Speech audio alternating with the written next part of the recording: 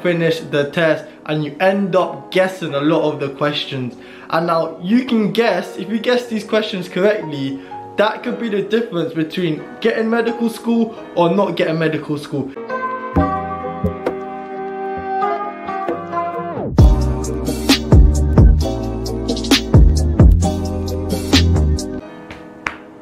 Yo, welcome back to my channel man.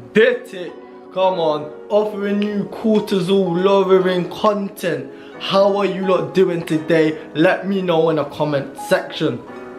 Today's video is gonna be a good one. I'm gonna reveal more secrets than a uni student's browsing history.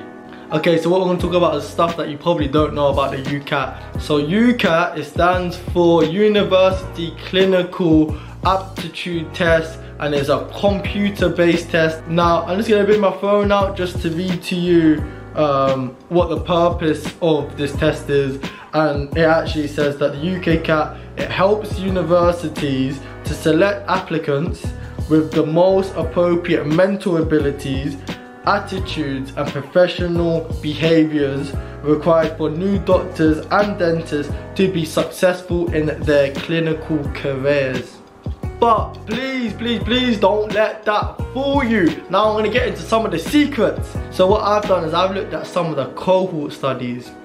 And now what have these cohort studies found and what have they told us? Well, I'm gonna let you know right now. So now what these cohort studies have found is that the UCAT actually has a weak predictive power in predicting academic performance in medical school. Now what I'm going to do to you, I'm going to read to you a bit more what this cohort study has found. It's also found that when predicting the overall pass um, at a first sitting in the first year of medical school that quantitative reasoning was actually statistically non-significant.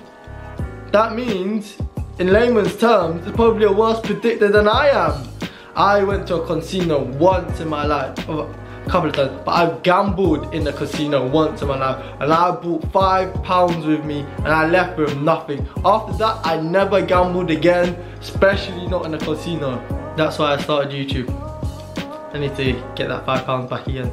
Now, the last component of this UCAT uh, test is the SJT, the Situational Judgment Test and actually it's actually quite important and more in the sense that um, in fourth year you're gonna do this huge test and it's basically very similar to what you're doing now in your situational judgment. And it takes up 50% of, um, of your overall grade for when you're applying for FY1 jobs However, of course, the situational judgment test in the UK is another weak predictor of professional behaviors in medical school. It is a filter, more filters than your kidney, more filters than your glomerulosa.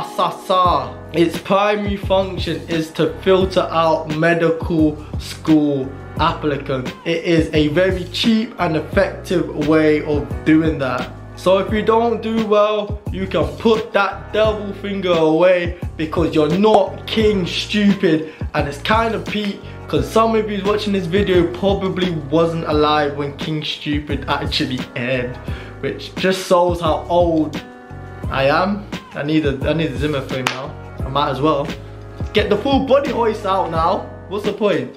But I digress. If you're on it like a car bonnet, you need to realize most people don't finish the test and you end up guessing a lot of the questions. And now you can guess, if you guess these questions correctly, that could be the difference between getting medical school or not getting medical school. It could be the difference in between getting into undergrad place or getting a graduate entry place. It's very, there's a huge component um, of uh, chance when you're trying to get through these tests. So for example, if you end up guessing 10 questions, you probably end up guessing more throughout the whole the whole exam. If you end up guessing 10 questions and you got 5 right, the other dude guesses uh, out of the 10 questions 8 right, he gets medical school, you don't because you don't reach the cutoff and he does. But don't get it wrong, there's tips and strategies you can do to improve your score so you don't have to rely on chance and that's probably gonna be my next video so make sure you uh, subscribe. Video, as you can probably tell, is primarily for those who didn't do well. So if you've done your test and you didn't do well on your test, it's not the end of the world. Sometimes it's not even just you. Sometimes it's just the way you guess. So technically speaking, still is you.